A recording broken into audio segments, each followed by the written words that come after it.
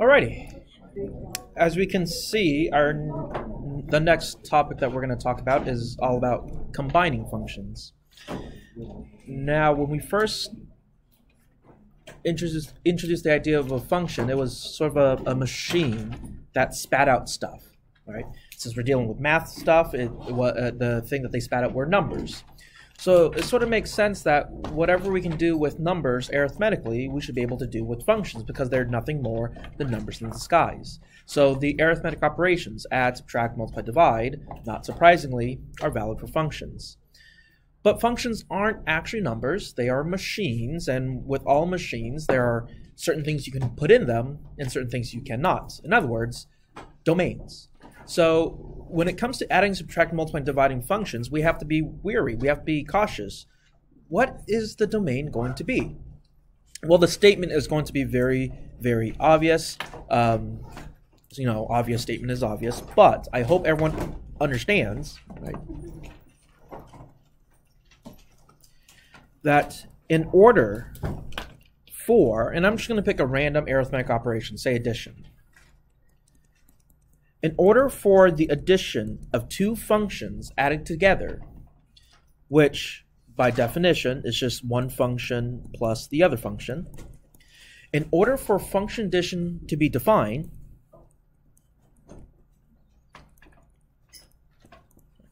I mean, look at the definition. What does function uh, addition equal? equals one function plus the other function. So in order for the whole thing to be defined, their individual pieces must be defined. f of x and g of x individually must be defined. Right? And that's sort of like a no-duh statement. It, uh, it, it's sort of like uh, making a recipe. Uh, if, if baking a cake requires two cups of flour and one cup of water, well, I can't bake a, uh, whatever I said, cake, if I don't have two cups of flour and one cup of water, right? I mean, you need all the pieces to work in order for the whole combination to work. What's the implication for us then? Therefore, right, in order to guarantee that our domain will work for all of the addition, the overall domain of the addition f plus g of x is the domain of f, whatever he will be, and I'm going to take the intersection, so that's the upside down union, of the domain of g, right? So basically you take the two separate domains and overlap them. And that, you know, sort of makes sense, duh. If if this thing is only defined where both of them are defined, then the domain must be the overlap or the intersection. Right? Now, I, I hope this idea is pretty straightforward. I mean, we didn't that didn't require lots of high level calculus thinking. It's a pretty obvious statement. Um, we could run through the same statement for subtraction, multiplication, division. So I only did it for addition, but the idea is this is true for all of the other arithmetic operations. Uh, uh, if this is true for subtracting functions, this is true for multiplying functions, and this is true for dividing functions. Right.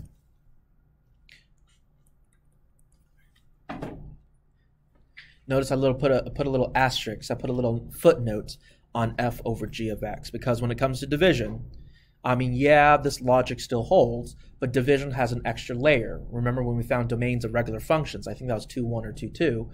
Um, whenever you have a division problem, you have to make sure that the denominator does not equal 0. So in the case of division, all of this logic is true, except um, you have to make sure that the denominator does not equal 0. Aside from this extra thinking that you have to do about, geez, what is our final domain? Uh, if I ask you to add, subtract, multiply, and divide functions, I that's what I literally want you to do. Just add, just subtract, just multiply, just divide. You don't you don't have to do anything crazy solving. There's nothing to solve. You literally just put the pieces together. So, um, um, not a trick question. I'm you know I'm very being very upfront here. This example that we're about to do will be stupidly easy. So um, say, for example, let f of x equals 1 over x minus 2 and g of x equals the square root of x, find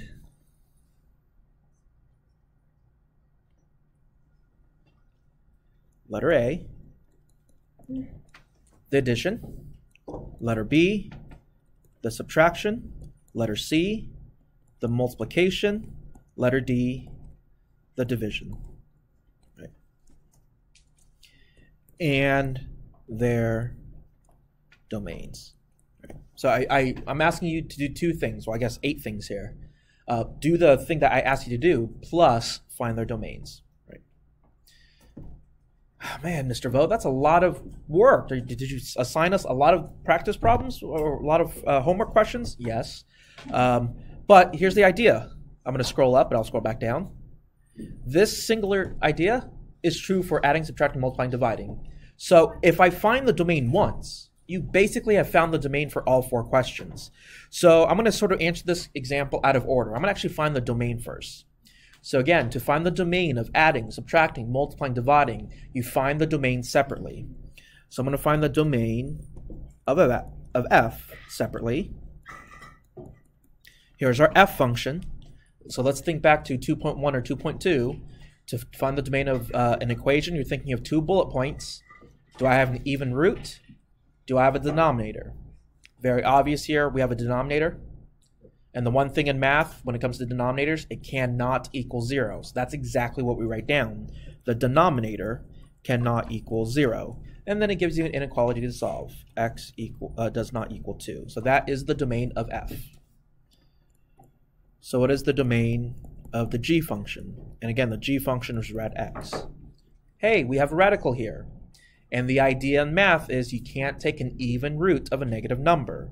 In other words, the radicand, the stuff inside the radical, I want to be not negative. In math, to be not negative is to be greater than or equal to zero. Hey, x is already solved for. I'm done. So what is my overall domain? Right. My overall domain would be the intersection of these two. Basically, what it means is you're just going to put both on the same number line and see where they overlap. So I hope everyone can agree that this right here is x is greater than equal to zero, right? Shading, starting at zero, shading to the right. So I got this domain. Now I have to incorporate the information from this domain. So do you see how this says it cannot equal 2? So it's as if at x equals 2 here, I have an open circle. So that right there would be the overall domain. Two separate pieces. Starting at 0, comma, going all the way to 2, union, starting at 2, and then going all the way to infinity. Easy peasy? That will be the domain for A, B, C, and D, with, with a little footnote on D. Um, but so that's that's the idea. If I ask you to add, subtract, multiply, and divide, and find the domains, it's not eight separate problems. Just find one domain, and it'll be the same for all of them. So let's actually do the addition, uh, subtraction, multiplication, division. So letter A. Ooh, what happened there?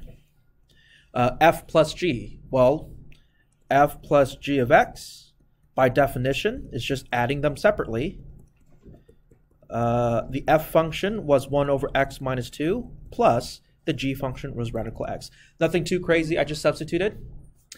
Uh, do we have any like terms? No. Guess what? Just leave it like that. Don't you don't have to do extra work. Boom. There's the addition function. Well, because this is inside of a radical, and this is just a rational expression. They're they're two different types. We can't mix them. I mean, you're more than welcome to attempt to put them together, but I'll accept that.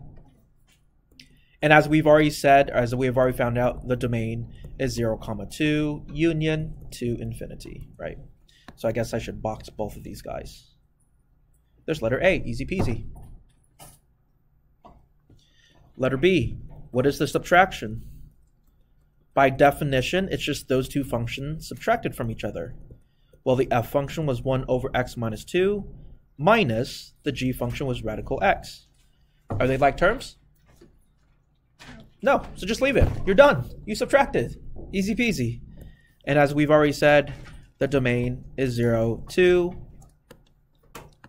union to infinity.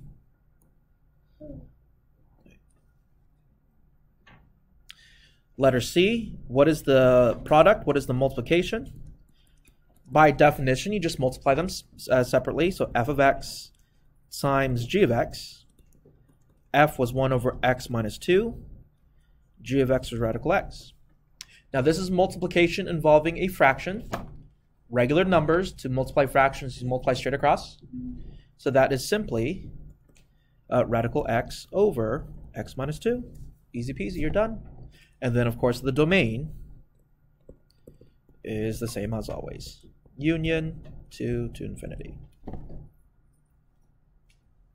So I hope everyone can see that adding, subtracting, multiplying, dividing fractions is just literally add them, subtract them, multiply them. Um, you have a little bit of thinking to do with when it comes to the domain, but just find the domain separately and take the intersection. Last but not least, letter D, the one with the footnote, division. So in terms of actually finding the function, it's the same as always. Division by definition is just taking the first fraction divided by the second fraction. So f is 1 over x minus 2 over the g function's radical x. So this is a compound fraction. Simplify a compound fraction however you want. Or, you know, just think back to elementary school. What your elementary school teacher taught you. Dividing is the same as multiplying by the reciprocal. So, dividing by radical x is the same thing as multiplying by, I'm going to take the radical x and flip them. 1 over rad x. And then now when you multiply fractions, multiply straight across. Uh, 1 over rad x over x minus 2. Now we do have the domain, and yes, the domain will be a part of the original domain that we found out. So this should be at least involved with the domain of the division. However, when it comes to division, we have an extra footnote. I do not want the denominator to equal zero. The denominator in this case is g of x. So uh, we do not want g of x to equal zero. In other words, we want g of x not to equal zero. So you just have to solve that inequality really quickly. What was g of x? That was rad x does not equal 0, so x cannot equal 0. So all you have to do is take our domain, so don't write this down because I'm going to do some erasing. You have to take the domain that we found, 0 to 2, union 2 to infinity, and then you just have to incorporate this new information. Does everyone agree that if I were to incorporate this new information, all that would happen is this square bracket on 0 turns to parentheses because you're literally taking away the zero answer. So that would be the domain. So this is what I would write down, right? So that's the only difference division does. You do the same adding, subtracting, multiplying, dividing. They have all the same domains, uh, with the exception of division. When you do the division part, just exclude the denominator being zero. Okie dokie? Mm-hmm. Right. So this is the similarities between functions and real numbers. But what functions can do that real numbers cannot is this next way we can combine functions.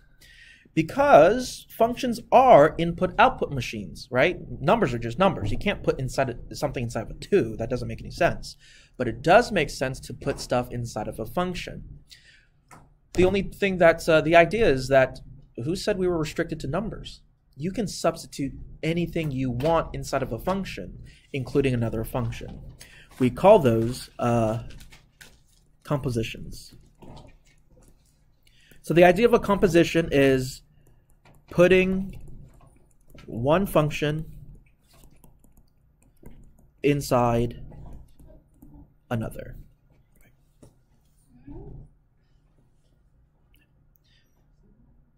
Mathematically, it's very simple. All it is is substitution. If you know how to substitute, if you know how to plug stuff in, you know how to do composition.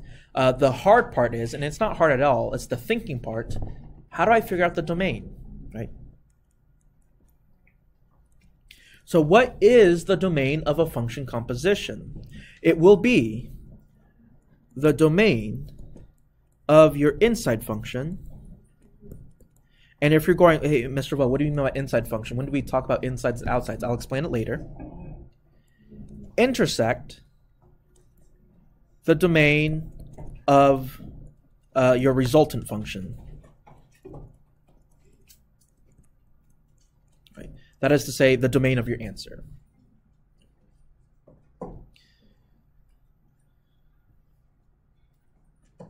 So if you're still going resultant function, inside function, what the heck are you talking about? Maybe if we take a look at the notation, that will make sense. So uh, function composition does have its own fancy notation. It uses a little circle O. Uh, so for example, let's say we did f composed of g, sometimes pronounced fog. All that is is saying, hey, take the f function, and instead of a regular x, you're going to stuff him full of the g function, right? So function composition is read from right to left. That's sort of the weird thing about math. It's not left to right, it's right to left. Uh, so whatever's on the right side, you put it inside the left. So if I switch the order, g of f, sometimes pronounced as goff, this says the g is the outside function, the f is the inside function. So that's what I mean by inside and outside. Uh, so what is the domain of a composition? It's the domain of the inside function with the domain of the resultant function. I think this would make a little bit of, uh, more sense with a concrete example. So example here, if, uh, let's say f of x is our good friend, the square root of x, g of x is a new friend, square root of 2 minus x. Find the following and their domains. Right. So A would be fog, B would be goff, C would be foff, and D would be gog. Now, the earlier class only needed uh, examples A and B. We'll see uh, how many examples we need. I can do them all if you want, but uh, I'll check in.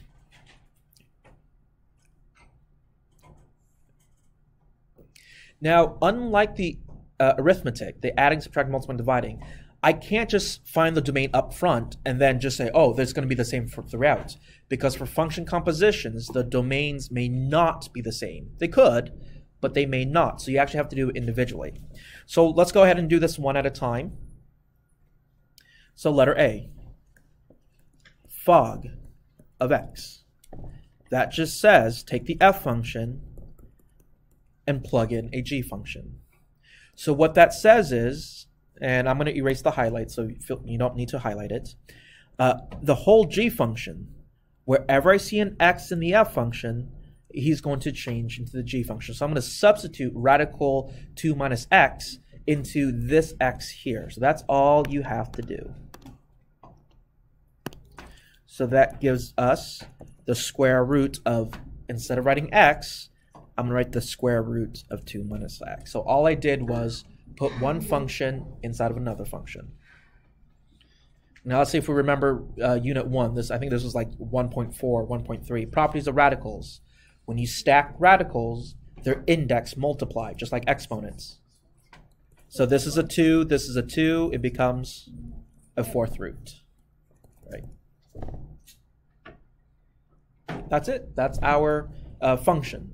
So now I got to find the domain. So it's again the the idea is domain of compositions, domain of the inside with the domain of the answer. So what was my inside function? We can see that the inside function was g, right? So I need the domain of g. And g was square root of 2 minus x. So what's the idea of a, taking a, a, domain of a radical? The stuff inside the radical cannot be negative. To be non-negative would be to be greater than or equal to 0. And then you just go ahead and solve him. So that is uh, 2 is greater than or equal to x. Not too bad. I just added x to both sides. And then you do the domain of the answer. So what was the answer function that we got? It was the fourth root of 2 minus x. Right. So again, it's an even root, so the idea is the stuff inside the radical, 2 minus x, cannot be negative, greater than or equal to 0. And then you get 2 is greater than or equal to x. So in this instance, they happen to be the same, uh, so that's easy. There's our domain. Our domain is x is less than or equal to 2, which looks something like negative infinity comma 2.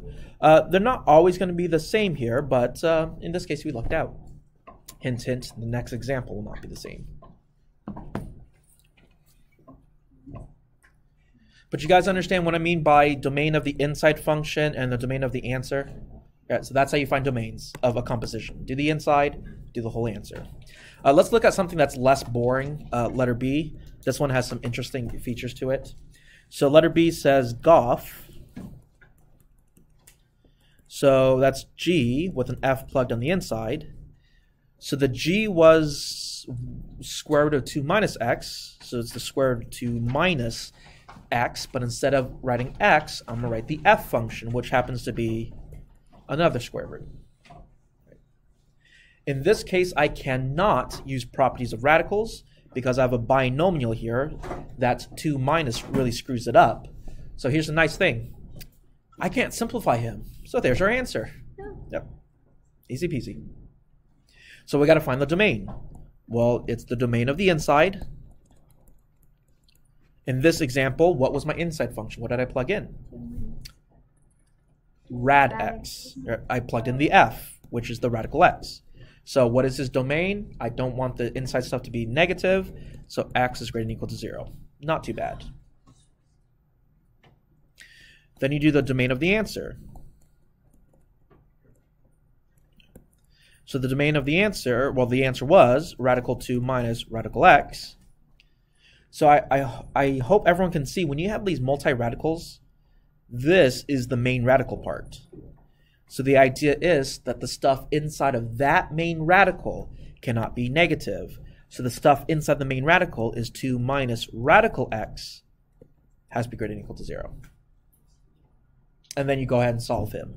Add the radical x over, because 2 is positive and radical x is positive, it is safe to square both sides. You get 4 is greater than equal to x. Then I would have to use a sign diagram. But in this case, I can solve it straight up because they're both positive. Yeah. So how do I find the intersection? So again, the intersection is the overlap. Now, I usually do this in my head, but since this is notes and you can't see what I'm thinking, I'll draw it out. So you want to draw out these two guys here. So let's visualize it. All right, I'll box this as my answer. So we have x is greater than equal to 0. Here's 0, bolded, shaded to the right. Not too bad. Next is 4 is greater than equal to x. 4 is right here bolded, and shade to the left, right? Are we all okay with that? All right. An intersection is sort of mentally, you put the two number lines on top of each other and see where they overlap. In this particular example, I hope it's obvious. Can everyone see that they overlap between the yellow lines? That is your domain. So your domain is 0, comma 4. That is the domain of that composition.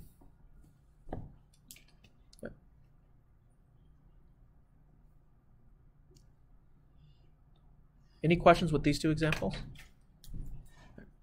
Gog and Phof, same concept, except you're just plugging a function into itself. Raise your hand if you need to see those examples worked out. Okay, let's just do uh, Phof. I think that's the next one. Yeah, FOF. And after that, let's see if we need to do Gog. So C, FOF of x, which is just f of f of x. So you start with the f function, square root of x. But instead of writing x, I'm going to write the f function again, which happens to be square root of x. When you stack square roots or when you stack radicals, you multiply the indices. So that's the fourth root of x. Domain of inside. The inside function was f, which was rad x. So the domain is greater than or equal to 0. Domain of answer. Fourth root of x. What is the domain of fourth root of x? x is greater than or equal to 0. So what's my overall domain? 0 to infinity. Right. Did that fairly quickly, but I, I hope it's simple and easy enough for everyone.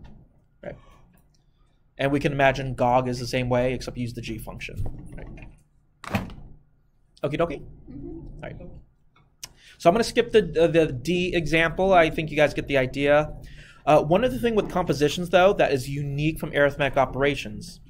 Arithmetic operations, add, subtract, multiply, and divide, they are what are called binary operators. You can only add, subtract, multi- multiply, and divide two things at a time. I cannot subtract three things at once. Technically speaking, I cannot add three things at once. Compositions do not have that restriction. You can compose three things together, four things together, five, six, seven, nine bajillion things together. Um, you just chain them up. Uh, so let's just do a quick example of a uh, function composition that's more than two pieces long. For example, if uh, f of x equals x over x plus 1, g is x to the 10th power, h is x plus 3, find f of g of h of x. Fogo. Find Fogo.